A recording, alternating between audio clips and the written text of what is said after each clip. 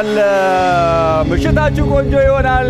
ቆንጆ እየሆነም እንዳለ ተስፋ እናደርጋለን። አብራችሁ ስላላችሁ በጣም ደስ ይለናል። ነጋን ጃላለ ሚልኪኑ እንዲ ሲንፋና ተው ሲኒንጀና ኦቢኤን ሰገሌን ሰገሌ ኡመታቲ ቀን አዲስ ፊለኖ ኬሰን ፋነ ጅራችሁ ኬሰን ጉዳይ ገለቶማ ሲኒንጀና በሪፍ ባንዴው ምሽቱን ሞቅ ደመቅ አድርጎታል።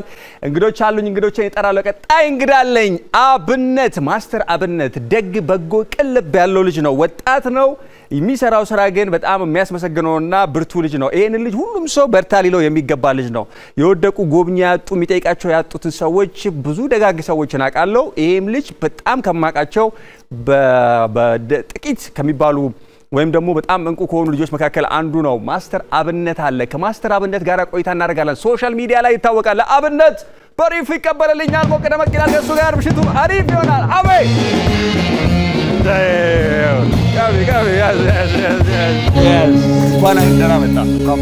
ሰላም ነው። ሰላም ነው።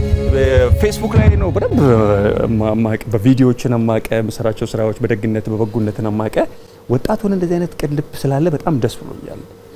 ለክብርህ ወንበር ልስጥህ። በሪፍ አሸኙልኝም።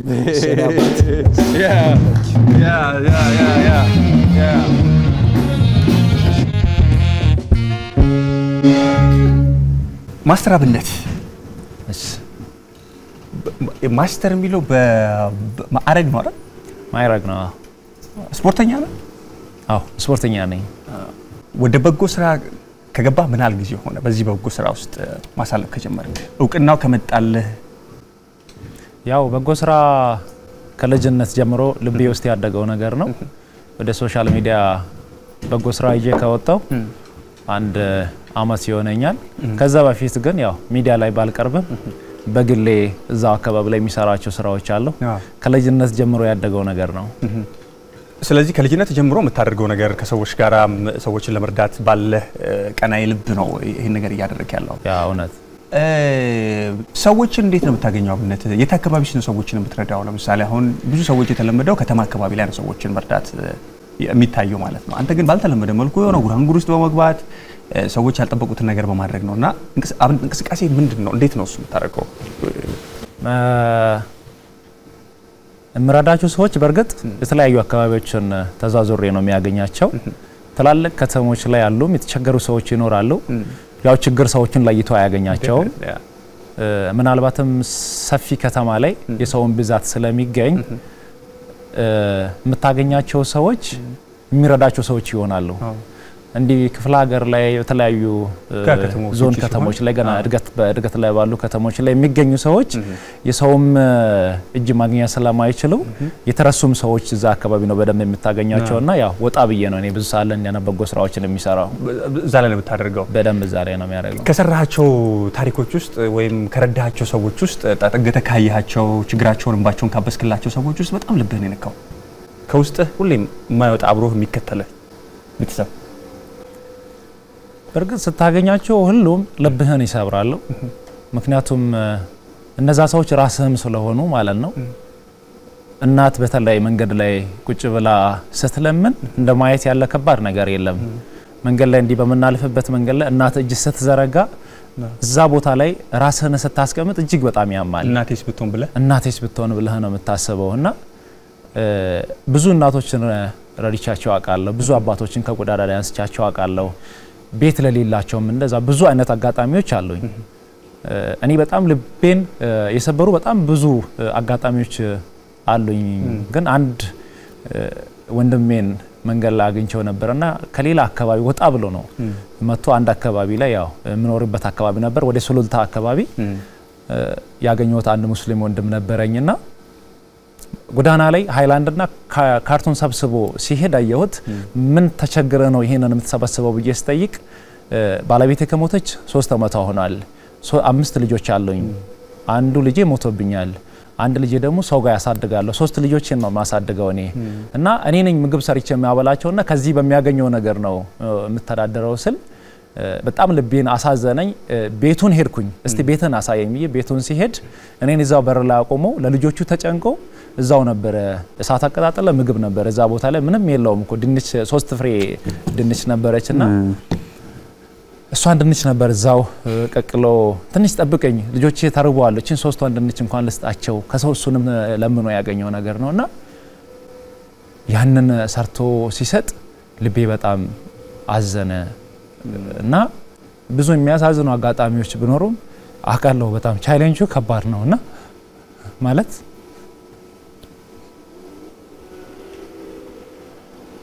በጣም ይቅርታ ያው ስሜቱ ትንሽ ስለሚለይ ነው። ሁሉም ይቸገራል እና ተቸግሮ በተለይም ጎዳና ላይ የሚወጡ ሰዎች እጅግ በጣም ልብህን ይሰብራሉ። ያ በጣም ብዙ የተቸገሩ ሰዎችን አይቻለሁ። አሁንም ፈጣሪ ለኢትዮጵያ የተቸገሩ ሰዎችን ይጎበኛቸው ነው የምለው። ለዚህ ልጅ ላብነት ማስተር አብነት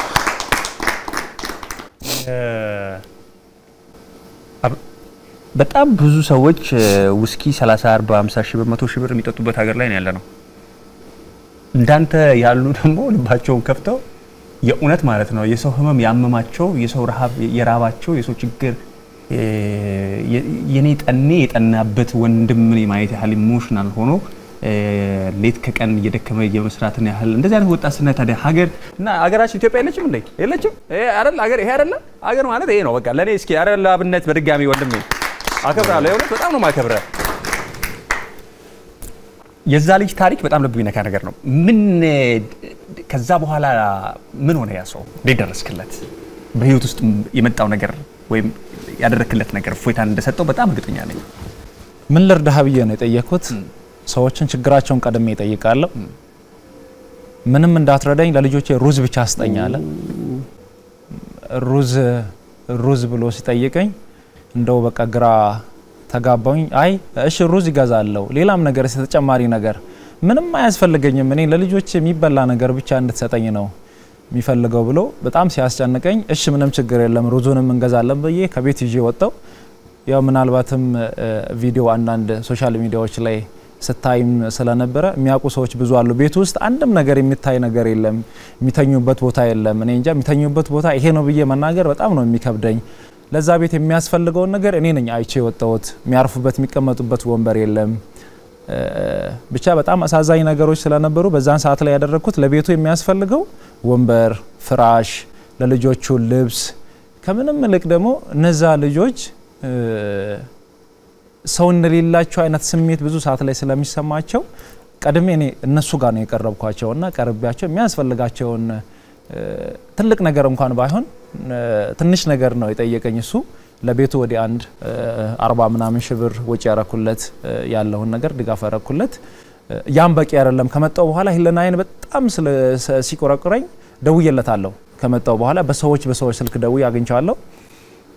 የኔ ትንሽ ድጋፍ ነው ያችን ያረኩለት። ግን ይሄ አባት ሀይላን ሰብስቦ ቤተሰቡን እስከ ማስተዳደር ድረስ ፍላጎቱ ካለው የስራ ይህንን ሰው ወደ ስራ ማስገባት አለብኝ ብዬ ሁለት መልካም ሰዎች አሉ። ከነዚህ ከሁለት ከመልካም ሰዎች ጋር ተነጋግሬ 250 ሺህ ብር ለሱ ስራ ማስጀመሪያ ገንዘብ ተመድቦለታል።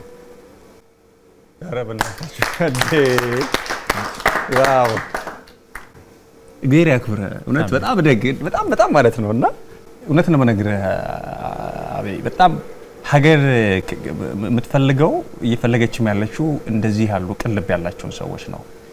ደግ ሰዎችን በጎ ሰዎችን ነው። ለራስ እንኳን መኪና የለ መኪና አትነዳም። የመኪናው ሂደት ምን ላይ ደረሰ? አዎ መኪና ያስፈልግሃል።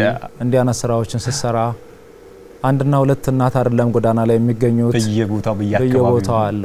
እነዛን አምስት ስድስት አስር እናቶችን አንዴ አንስታቸው ትልቅ ነገር እንኳን ማድረግ ባትችል ከእነሱ ጋር አብረህ ምሳ በልተህ ሻይ ቡና ጠጥተህ አብረሃቸው ለመሆን እንዲህ አይነት የመኪና ሁኔታዎች በእርግጥ ይገድቧሉ። መኪና መግዛት ይቻላል፣ ግን just መኪናውን ለመግዛት ስታስብ እነዛ የተራቡ እናቶች ናቸው ፊት ላይ የሚመጡት። እግር አለኝ እጅ አለኝ እኔ ጤንነቱ አለኝ መኪናውን ለመግዛት ሲያስብ በጉልበቱ የሚሄደው ያ አባቴ ነው ፊት ላይ የሚመጣው። ዊልቸር ያስፈልጋቸዋል። እኔ መኪናውን ለመግዛት ሲያስብ ቤት የሌላቸዋል ውጭ ላይ ሸራ ላይ የሚያድሩና ልግዛ ብዬ መኪናውን በራሴ ልግዛ ብዬ ሲያስብ ህልናዬ ነው ነው መለኝ ማለት በቃ ያንን እኔ ያለኝን ነገር አውጥቼ ለነሱ ማድረግ ወይም መልካም የሆኑ ሰዎችን አስተባብሬ የነዛን የወደቁ ሰዎችን ችግር መረዳት እንጂ እንደሚያስፈልገኝ አውቃለሁ፣ ያስፈልገኛል። ግን ይሄንን ካደረግኩኝ ሌላ ጥያቄ አለብኝ። ምክንያቱም ይሄንን አይደለም ሄለና የራፍት አያገኝም። በጣም ውስጤን ስለሚያስጨንቀኝ እንደውም ፈጣሪ መኪናውን እንደሚያዘጋጅ እርግጠኛ ነኝ። ተጀምሯል ሂደቱ። እኔ አሁን እንድንረባረብም ጭምር ፍላጎት ስላለኝ ነው። መኪናው ተጀምሯል። የመኪናው ሂደት በምን መልኩ ይርዱ ሰዎች አሁን በዚህ ጉዳይ ላይ ይሳተፉ? ያስፈልጋል፣ በደንብ እንደሚያስፈልግ ነው። ለምን መሰለህ? ከየት ነው? አሁን አንተ እስኪ ንገረኝ። እኔ አሁን ከደቡብ ክልል ወደ ዱራሜ የሚባልበት ረዥም መንገድ ነው። ዱራሜ ነው የመጣው። ኧረ በእናታችሁ የምሬ ነው እንዴ! ስለዚህ እኔ በደንብ ነው የሚያስፈልግ። ለምን መሰለህ? የበለጠ ትረዳናለህ፣ ትረዳኛለህ። አይደል? የበለጠ ትደርስ የበለጠ ይደርሰናል። እርዱት፣ አግዙት፣ ደግፉት። መኪናው ላይ አይደለም ማ- ማቆሙን ቤት ስትሰራ ቤት አንተ ቤት ላይ አይደለም ማቆም ያለብን። በአንተ ምክንያት አንተ ላይ ተረባርበን በአንተ ምክንያት የሚረዱ ሰዎችን ነው ለልጆች ምን ላድርግ ሩዝ ብቻ ግዛላችሁ ብሎ ምን አይነት አባት ይህ- ይህንን ቤተሰብ ከማሳረፍ ይህን አባት ከማሳረፍ በላይ የሚሰጥ ሰላም ምን አለ? መቶ ሺህ ብር ውስጥ እየጠጣ ነው እየተጠጣ ነው መዲናችን ላይ የብሬ ነው። ሀምሳ ሺህ ብር ውስጥ እየተጠጣ ነው ብር እንደዚህ በየክልሉ እየተረ- እየተረጨ ያለበት ሀገር ውስጥ እኮ ያለው። ተርበናል ደግሞ እኛ እዚህ ጋር ጠኔም እየደፋን ነው ያለው እና እስኪ ገንዘቡን ግድ የለም ተውት፣ መቶ ሺህ ብሩን ተውት። እስኪ እንደው በአስር ሺህ ብር ጠጡ። ግን እየራበው ያለ ሰው ስላለ እየተቸገረ ያለ ሰው ስላለ ታሞ መታከሚያ ያጣ ሰው ስላለ የሚረዱ ሰዎች ስላሉ እነሱን support በማድረግ በመደገፍ እረፉ፣ ረፍት ይሰጣቸዋል። በመቶ ሺህ ብር ያላረፈ ውስኪ ያላረፈ ውስኪ ያላረፈ አእምሮ ለድሃ በመስጠትና ድሃን የተቸገረ የተራበን በማብላት በእርግጠኝነት እንቅልፍ ይወስደኛል እ፣ በዚህ አጋጣሚ ከአብነት ጎን እንድትቆሙ ነው። social media ላይ በደንብ ሰዎች እያገዙት እንዳሉ አውቃለሁ። ለዚህ እግዚአብሔር ይመስገን። ክብሩን እሱ ይውሰድ አይደል? እግዚአብሔር እንዴ የምሬ ነው። በጣም ነው ደስ ያለኝና አቤል በምትፈልገው ልክ እየሄደልህ ነው ወይ? አሁን እገዛው ድጋፉ ያለው ነገር ሰዎችስ ቢሆኑ እየደገፉ ነው እያገዙ ነው? እኔ ማን ነው እሱ? አውዛዋን ይባላል። የ dashboard ቅባት፣ ወዛም dashboard፣ ወዛም ጎማ፣ ወዛም የመኪና በር፣ ያውም leather ና ላስቲክ፣ የወንበር ልብስ ወዝቶ ወርዝቶ ካዩ አውዛዋን ቅባት እዚያ አለ። በአውዛዋን ቅባት ያብረቀርቃል። አውዛዋን የ dashboard ቅባት ከወዙ ጥንካሬው ደግሞ አይሰነጣጠቅም። ቆንጅቶ በርክቶ ማርኮት በማይጎርብት ሽታ አውዛዋን መጣ። የማሌዥያ ሰራሹ አውዛዋን የ dashboard ቅባት በየመደብሩ ወዝ ይሸጣል። አውዛዋን የተቀባ dashboard ጎማ፣ leather ና synthetic የበቀለ ይመስላል። ለፊት አይሆንም። አውዛዋን ካገኘ ሽቶ ውሃን ሽቶ ውሃን በቀደመው ጊዜ በታታሪ እግሮቾ በጠቢብ እጆቾ ደከመኝ ሰለቸኝ ሳይሉ በትጋት ሰርተዋል። አሁን ግን ላለሙት ታላቅ ስኬት ልፋቶም ቀንሶ ምርቶን የሚያሳድግ አጋር አለሎ።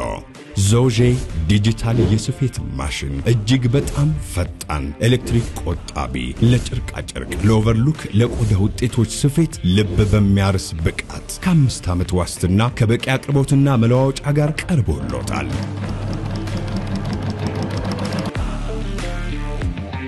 ቤተል ፋሚሊ ታወር ሁለተኛ ፎቅ መርካቶ አዲስ አበባ የገበያ ማዕከል የሱቅ ቁጥር BC 402 ይገኛል።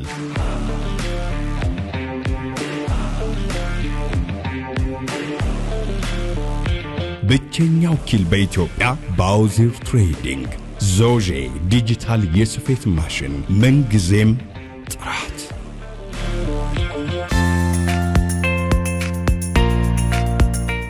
ያው መኪናውን መሳብ ከኔ አልነበረም የመጣው።